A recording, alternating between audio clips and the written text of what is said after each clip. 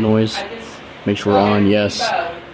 It's still daylight, but for three bucks, I may have other disco balls, but look at this.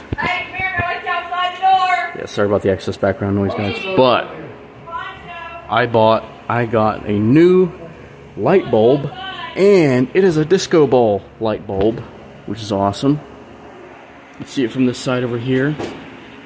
Definitely got some dots shining up right there.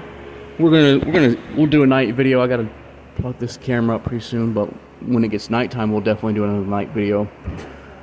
Um, when we do another video of this, we'll present it because normally I present before I even do all this stuff. But there we go. There's my new disco ball light bulb, and it actually spins, and you can feel the globe spin. Yeah, just like a real disco ball. It's just like my other one that I have. Alright, and there we go. Thanks for watching, and more to come later.